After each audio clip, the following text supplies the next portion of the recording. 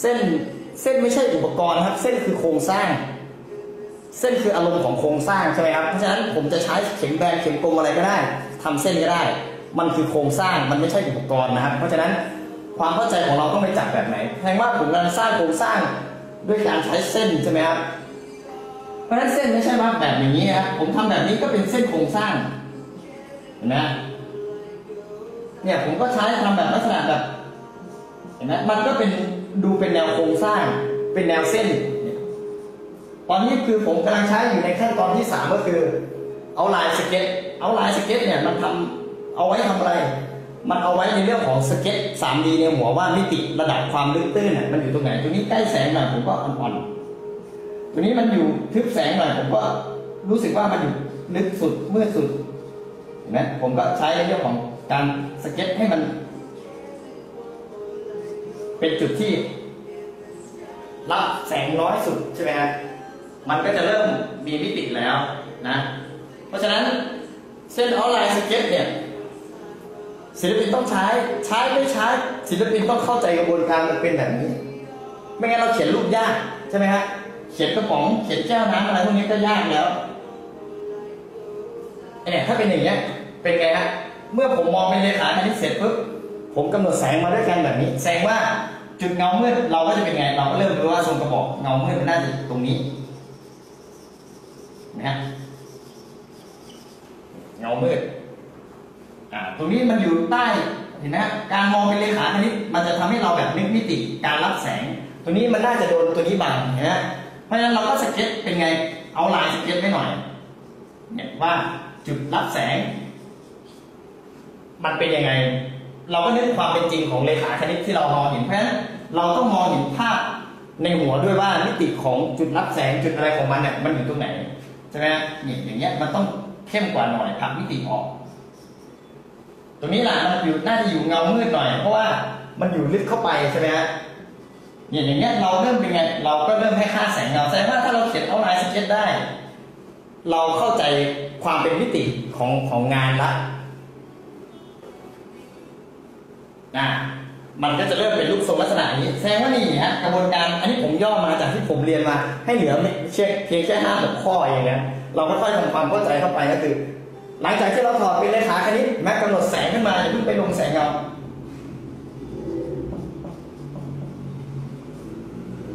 เราเป็นไงฮะเราก็เบรกในเรื่องของมิติเลขาคณิต เริ่มง่ายแล้วค่อยๆทำความเข้าใจนะครับ สิ่งเหล่านี้สุดท้ายเราจะวาดรูปสวยระดับโลกเนี่ยมันต้องผ่านกระบวนการนี้ ผมเชื่อว่าเขามองเห็นแบบนี้นะครับผมถอดสิ่งที่ศิลปินเขามองเห็นอยู่ในหัวว่าเขามาเขียนรูปเราก็จะเห็นทั่วไปใช่ไหมหลังจากนั้นข้อต่อไปก็คืออะไรครับ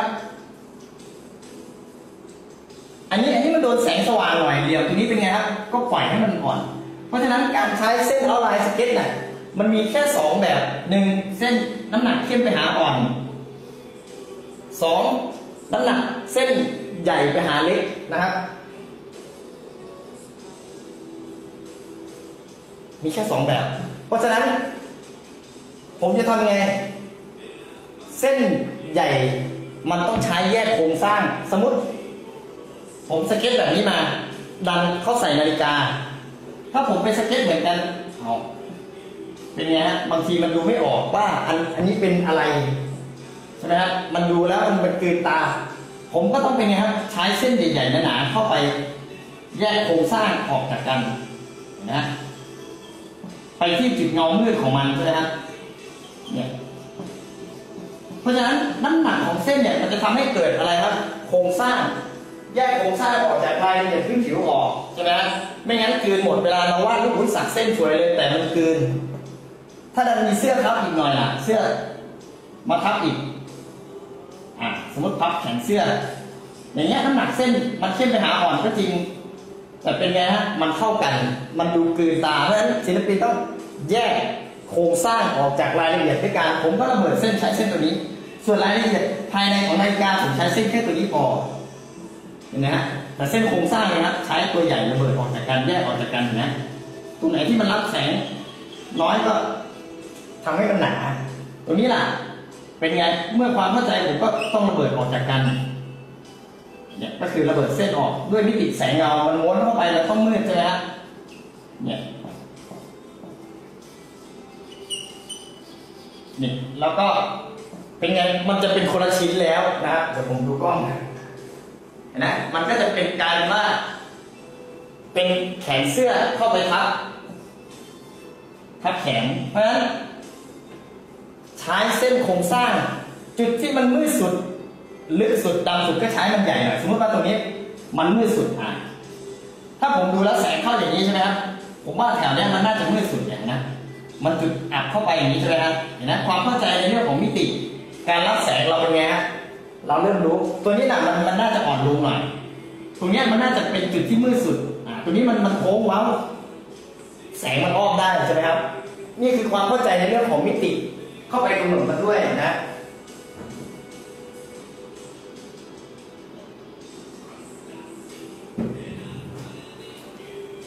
อ่านี่คือการใช้ outline sketch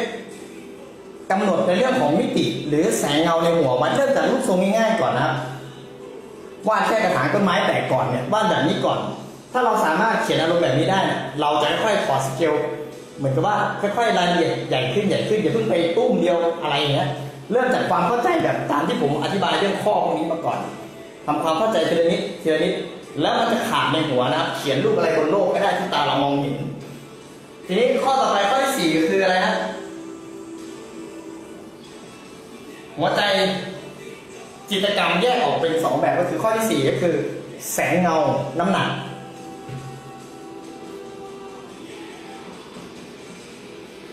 ผมแยกออกแสงเงา แล้วก็ข้อที่ห้าอันนี้คือ หัวใจจิตกรรมคือส่วน B คือความรู้สึก เห็นไหม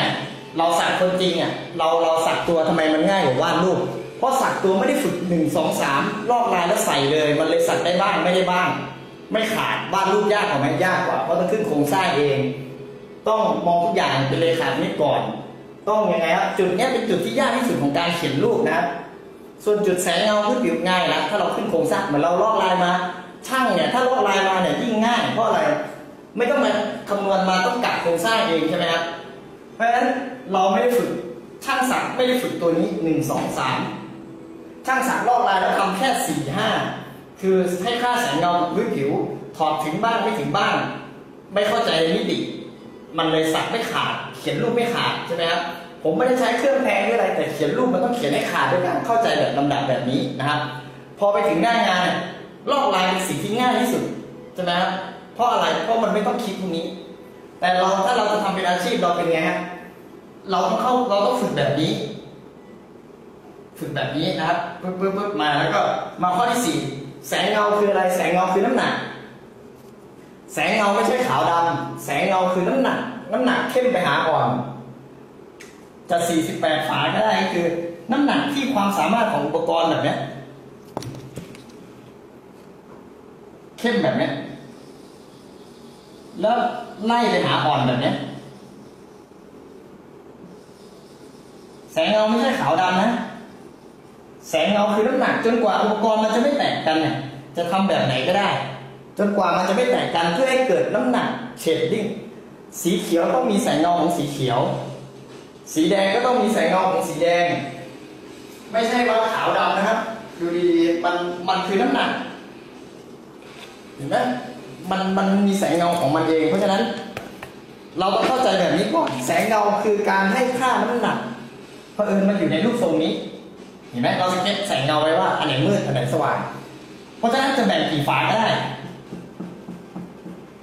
48 ฝาก็ได้ มันก็แค่การให้ค่าน้ำหนัก หรือไม่ต้องแบ่งก็ได้ ใช้สีเบอร์เดียวก็ได้ แต่ควบคุมการทำงานเอาเหมือนดินสอนะวาดยันเรือลงได้ เพราะฉะนั้นสิ่งที่เราต้องเข้าใจในหัวคือ มันคือน้ำหนัก ให้ค่าน้ำหนักของเฉดของมันสีเขียวน้ำหนัก สีเขียวแสงที่ตกกระทบเป็นยังไงอะไรอย่างเงี้ยนะครับ เพราะฉะนั้นที่เราฝึกหนักๆกันน่ะมันแค่ฝึกการปั่น ถ้าเราไม่ได้เรียนรู้พวกนี้มันไม่มีประโยชน์ เราฝึกทั้งวันทั้งคืนปั่นแสงเงามันไม่ได้เพราะอะไรมันไม่ได้เรียนมันต้องเข้าใจพวกนี้ ส่วนอันนี้มันแค่เป็นเทคนิคการปั่นให้มันเนียน ปั่นแบบนี้ ปั่นแบบนี้บ้างเพื่อให้ค่าน้ำหนักนะครับแต่ที่เราจะใช้เนี่ยต้องใช้กระบวนการนี้ ผมจะเอามือซ้ายเนี่ยมาลงแสงเงาได้ไหมได้เนี่ยเหมือนเราเป็นไงมือข้างไม่ถนัดก็ลงได้เพราะอะไรเราเข้าใจมิติ ผมไม่ต้องฝึกหนักนี้เพราะอะไรทีเนี้ยมันไม่ใช่ว่าเราต้องไปฝึกหนักๆ สิ่งที่เราต้องเรียนรู้มันคือประเด็นของมันแต่ว่า มันมากระบวนการมายังไงใช่ไหมฮะในเมื่อเรามองเห็นวัตถุเดียวกันเหมือนกับคนวาดรูปได้ทำไมเราจะวาดไม่ได้ ที่เราวาดไม่ได้เพราะเราไม่เข้าใจกระบวนการพวกนี้ไงลำดับของการเขียนรูปใช่ไหมฮะเพราะฉะนั้นแสงเงาเนี่ย มันให้เรื่องของน้ำหนักน้ำหนักอ่าถ้าเป็นทรงกระบอกเป็นยังไงทรงกระบอกก็นะแค่เส้น ผมก็เขียนมิติ ฝั่งนี้มันรับแสงน้อยกว่าก็นี่อย่างเงี้ยแค่นี้มันก็บอกได้แล้วว่า แสงเข้าฝั่งไหนใช่ไหมครับอันนี้คือเอาไลน์สเก็ตหลังจากนั้นเป็นไงครับ แสงเงาคือพื้นที่กว้าง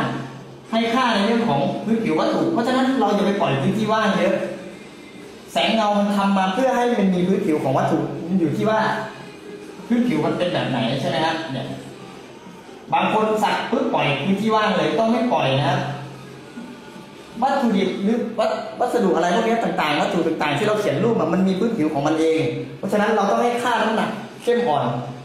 ไปในตัวมันตัวงานด้วยไม่ใช่ปล่อยที่ว่างนะครับ ทีนี้แสงเงาเราก็รู้แล้วว่ามันคือน้ำหนักเข้มไปหาอ่อนนะไม่ยึดติดว่าจะใช้กี่ฝาละมันก็แค่การไล่น้ำหนักแล้วแบบนี้ล่ะก็ทำแสงเงาได้ นี่ก็เป็นแสงเงานี่ ในเมื่อมันเป็นน้ำหนัก อย่างนี้ล่ะ อย่างนี้ก็เป็นแสงเงาได้ มันเป็นน้ำหนักใช่ไหมดอกหนักดอกก็เป็นแสงเงาได้ หรือจะทำยังไงก็ได้ คือเป็นน้ำหนักได้ มันก็เป็นแสงเงาได้ อ้าว แล้วมันทำไมแตกต่างกันใช้แตกต่างกันยังไง มันมาตอบโจทย์ข้อที่ห้าก็คือ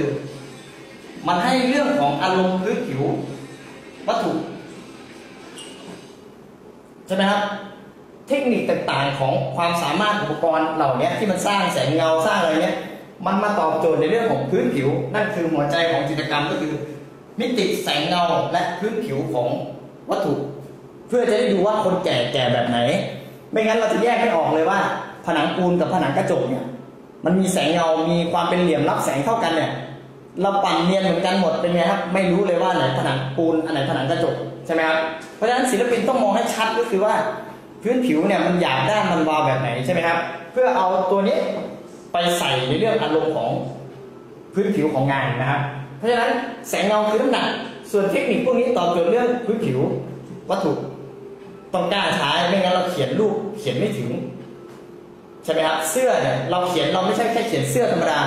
เราต้องดูว่าเสื้อนั้นน่ะมันเป็นเสื้อผ้าแบบไหน เสื้อแบบเงาไหมเสื้อแบบผ้าแก้วไหมใช่ไหมเสื้อแบบยังไงไหมเราต้องกลับอารมณ์เข้าไปอีก ในเรื่องของพื้นผิวอย่าเพิ่งเขียนแค่โครงสร้างแสงเงาถูกต้องนะ มันได้แค่ฟองเห็นไหมถ้าผมเขียนเสื้ออย่างเดียวอะเพลินว่าเป็นเสื้อเชิ้ตมันกึ่งมันวาวเป็นไงฮะในโลกจิตรกรรมไม่มีของแข็งของเหลว ไม่มีน้ำมันไม่มีทองคำไม่มีอะไรครับ มันมีการให้ค่าอยู่สองแบบ ก็คือ วัตถุวาวและวัตถุด้านเท่านั้น ไม่มีอย่างอื่นเลย ศิลปินต้องเขียนให้มันได้ก็คือ วัตถุวาวและวัตถุด้าน ไม่มีน้ำมัน ไม่มีทองคำไม่มีอะไรนะฮะเนี่ยอย่างเงี้ยมาปุ๊บอันที่หกก็คืออะไรครับให้ค่าในโลกศิลปกรรมก็คือ มันวาวหรือมันด้าน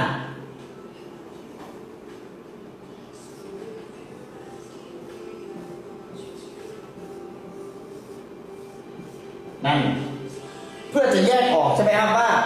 เพอเอิญเสื้อตัวเนี้ยตัวนี้มันเป็นไม่ไม่มันไม่วาวดิถ้าผมเอาน้ำสาดล่ะ ความเข้าใจเรา มันจะต้องเป็นนี้มันจะมันจะวาวรับแสงขึ้น เพราะฉะนั้นการเขียนรูปให้เกิดวัตถุวาวและวัตถุด้านนี่นะโลกจิตรกรรมมีแค่นี้ครับวัตถุวาวและวัตถุด้าน ถ้าวัตถุวาว มันจะมีสันแสงนะครับ ชัดเจน แสงตกกระทบปุ๊บมันต้องเว้นพื้นที่ว่างหรือใส่สีขาวหรือสีสีของแสงมันเข้าไปนะเป็นลักษณะสันแสงชัดเจนเลย ก็คือเวลาเราทำแสงเงาเนไหมมองเห็นเหลี่ยมวาวอยู่เห็นไหมมันจะต้องมีสันแสงวาวจุดรับแสงของมันชัดเจนเป็นไงครับไล่น้ำหนักมา เราไล่เนียนมาปุ๊บแล้วแต่นะวัตถุวาวเนี่ยมันไม่ใช่ว่าแค่เรียบอย่างเดียวนะครับ ถนนลาดยางเปียกฝนมันวาวนะครับ เพราะฉะนั้นมันก็ต้องใช้เทคนิคนี้เข้าไปตอบโจทย์ด้วย มันไม่ใช่ว่าปั่นเรียบอย่างเดียวนะฮะอย่างเช่น เสื้อตัวนี้มันไม่ได้ตอนนี้ที่เราดูอยู่เป็นไงมันด้านอยู่มันด้านอาจจะมีแบบอะไรอย่างผนังปูนมันด้านอยู่ผมเอาน้ำมาสาดเป็นวัตถุวาวเลย เพราะฉะนั้นอารมณ์ texture พื้นผิวมันยังต้องใช้ด้วยกันได้อยู่ก็คือมันสาดก็คือสาดเข้าไปด้วย ใช่ไหมอารมณ์พื้นผิวยังต้องรักษามันอยู่ แต่เพอเอิญว่าจุดที่มันรับแสงมันแตกต่างออกไปก็คือ เมื่อมันไปถึงจุดสันแสงก็คือวัตถุวาวเนี่ยมันจะแสง contrast ต่ำแบบนี้ อันนี้ผมขีดให้เห็นเนาะแต่จริงเราไม่ได้ขีดนะก็คือเว้นบล็อกเลยนะถ้าสังเกตดูงานเราจะเริ่มดูเป็นละพอไปถึงจุดสันรับแสงเนี่ยจะจัดนะครับ อันนี้ผมกำหนดไปหนึ่งแสงเนาะเนี่ยมันจะต้องบล็อกตัดชัดเจนเลยกรีดแบบนี้เลยก็คือ นะ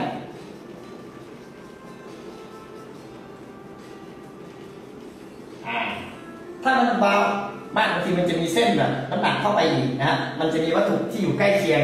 เข้าไปใช่ไหมเพราะฉะนั้นวัตถุวาวเป็นไงฮะมันจะเป็นสันแสงที่ตัดชัดเจน แสงเงาจะไล่มาปุ๊บพอไปถึงจุดที่มันสันแสงปุ๊บกีดเลย พื้นที่ว่างจริงต้องเว้นไว้ให้กับวัตถุวาว ไม่ใช่ว่าเราสักหรือวาดรูปแล้วปล่อย แสงเงาแบบไม่ได้ลงพื้นผิวมันต้องมีพื้นผิวนั้นพื้นที่ว่างเนี่ยมันเหมาะให้กับการใช้กับวัตถุวาวนะครับส่วนวัตถุด้านเป็นไงฮะแสงเงาจะฟุ้งวัตถุเดียวกันนะ เอาน้ำมาสาดมันกลายเป็นวัตถุวาวแล้วก็เมคแบบนี้เข้าไปเลยก็คือ จุดรับแสงสันแสงใช่ไหมฮะถ้าเป็นอันนี้ล่ะเสื้อเชิ้ตผมก็ดูแล้วเผอิญเสื้อเชิ้ตมันรีดมาเรียบเนาะมันก็อาจจะวาวหน่อยนไหมผมก็ต้องนึกความเข้าใจว่าอาจุดนี้มันรับแสง ผมก็ไล่น้ำหนักเข้มมา โอ้มันใช้เมจิกเขียนเนาะจุดสันแสงก็กรีดหน่อยอย่างเงี้ยเห็นไหมฮะความเข้าใจบนหัวเนี่ย มันถึงจะเขียนรูปเทวดารูปอะไรได้นะเนี่ยก็เขียนเป็นไง จุดสันแสงเข้ามากรีดด้วยแสงคอนทราสต์นะตัดอ่าตัวนี้ ตัวนี้รับแสงหน่อย ก็เห็นไหมจุดสันแสงก็เว้นไว้หน่อย อันนี้เข้มเนี่ยเห็นไหมคือเราเขียนรูปในหัวเนี่ย เราก็จะเริ่มเขียนเป็นลักษณะเนี้ยคือมันเขียนถ่ายทอดได้เพราะอะไร มันใช้หลักการเดียวกันเนี่ยผมก็เว้นจุดสันแสงรับแสงหน่อย มันเป็นเสื้อเชิ้ตพับแขนใช่ไหมอันนี้ก็เงาเงือกนี่เว้นนิดนึง พื่อให้มันมีการรับแสงของตัวนี้ เพราะฉะนั้นผมกำลังทำลักษณะวัตถุค่อนข้างที่จะมีความวาวหน่อยนึงนะเราก็เป็นไงเราก็ ใช้วิธีการกรีดก็คือสันแสงเนี่ยชัดเจนนะผมก็ต้องกรีดสันแสงนะสสันแสงของมันเนี่ยมันจะค่อนข้างชัดเจนนิดนึง ก็คือเขียนรูปเสร็จเขาก็ใช้ยางลบใช่ไหมกรีดหรือว่าเราก็ใช้สีขาวนั่นแหละกรีดให้มันเกิดยังไงฮะสันแสงนะฮะส่วนวัตถุด้านถ้าเป็นกึ่งวาวอะกึ่งวาก็ต้องฟุ้งหน่อยๆถ้าเป็นวัตถุด้านอะ มันจะฟุ้งเห็นไหมมันจะเป็นลักษณะ แสงเงาจะค่อยนวลแต่ไม่หายไป หลายคนสักมังกรไม่มีพื้นผิวเลยปล่อยแสงเงาไปเลยอย่างเงี้ยมันเลยทำให้อารมณ์ของพื้นผิวไม่มีใช่ไหมครับมันจะต้องเป็นแสงเงาอ่อน เข้าไปหากันใช่ไหมไม่งั้นมันจะกลายว่ามันเป็นลูกแก้วนี่มันเป็นอะไรนี่ใช่ไหมไม่ตอบโจทย์อารมณ์ดังนั้นแสงเงาเนี่ยมันจะต้องมีพื้นผิวของวัตถุนะครับ เราก็เป็นไงวัตถุด้านเนี่ยเราก็ไล่แสงเงาลักษณะออกไปแบบเชื่อมหากันนะครับต้องได้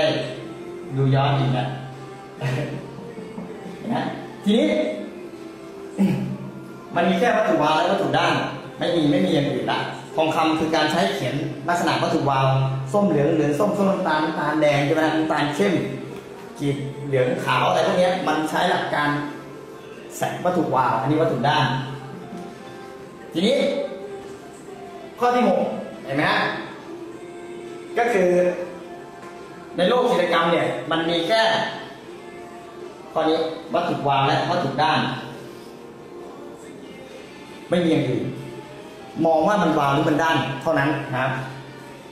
ไม่งั้นเดี๋ยวแล้วก็เดี๋ยวผมจำลองแสงเงาให้ดูแล้วก็โอเค แล้วก็ลองไปฝึกดูนะ ทีนี้อันต่อไปคือจุดที่เราต้องเมคได้อีกก็คือ มิติวัตถุที่มันม้วนไปด้านหลัง อันนี้ข้อที่หกแล้วนะครับ ไล่มาหนึ่งสองสามข้อที่หกวัตถุที่มันม้วนไปด้านหลัง หรือเราเขียนรูปเป็นลักษณะสามมิติแบบเนี้ย ไม่งั้นลูกบอลจะผ่าครึ่ง ให้เราคำนึงถึงแบบนี้ วัตถุที่มันยังม้วนไม่จบ มันต้องมีแสงตกกระทบย้อนกลับมานะครับ อย่างเช่น ผมเขียนรูปตัวนี้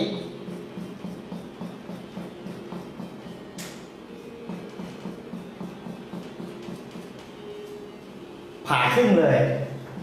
เป็นไงฮะต้องใช้รีเฟกแสงตกกระทบด้วยการตัดไปที่ขอบเงามืด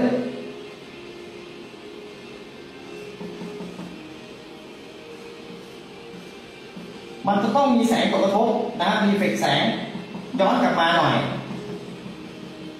ไม่งั้นวัตถุนั้นจะดูผ่าครึ่งนะครับเดี๋ยวผมจำลองแสงจริงให้ดูนะฮะเห็นไหมมันจะดูม้วนไปด้านหลังอีกเลย ถ้าเรารีเฟกแสง เวลาเราวาดแขนเสื้อวาดวาดนิ้ววาดอะไรเป็นไงเหมือนกันมันกลมไปด้านหลังอยู่ เราใส่แสงเงาเสร็จ มันต้องมีรีเฟกแสงนะครับเขียนรูปมันต้องมี ความเข้าใจของเราละเป็นไงเราเมคได้ละใช้ครับพวกนี้เราใช้หมด เขียนรูปเนี่ยไม่ว่าจะเป็นรูปอะไรก็แล้วแต่ทั่วโลกศิลปินที่เขาวาดได้ใช้หลักการเดียวกัน ที่เหลือก็เป็นเรื่องดีเทลในของอะไรครับการจำอนาโตมีบ้างนะต้องมีรีเฟกแสง ให้มันดูแบบมดไปด้านหลังอยู่นะวาดรูปเราคำนึงถึงนะว่า ต้องมีรีเฟกแสงตกกระทบ ไม่งั้นวัตถุนั้นจะดูผ่าครึ่ง มันอยู่ในเรื่องของแสงข้อที่หกก็คือ วัตถุวาวและวัตถุด้านสรุปนะฮะแล้วก็วัตถุที่ม้วนไปด้านหลัง ขอบเสื้อ อะไรก็แล้วแต่ไม่ใช่ว่าแค่วงกลมนะ เป็นสันโค้งให้ใส่รีเฟกแสงไปที่เงามืดด้วย ส่วนสุดท้าย ข้อที่เจ็ด เราต้องสามารถเช็คงานตัวเองได้ว่าเราเขียนถูกหรือเขียนผิด เช็คมิติไงฮะทำไมเขาถอยมามองอะ เราเขียนรูปไปบางทีเราไม่รู้มิติมันถูกต้องหรือไม่ หรือมันเขียนเพี้ยนหรือไม่เพี้ยนอะบางทีเรามองไม่เห็นใช่ไหมครับเราต้องเช็คตัวเองบ่อยมากเวลาเขียนรูปนะครับ ถอยออกมามองด้วยการการเช็คตัวเองเนี่ยจะเป็นแบบนี้นะครับก็คือมองภาพเบอร์ เวลาเรามองภาพเบอร์เนี่ยมันจะทำให้เราเห็นเป็นก้อนๆแสงเงาใช่ไหมครับ อย่าลืมใส่อย่างเดียวไม่ได้นะ มันต้องเช็คตัวเองด้วยก็คือ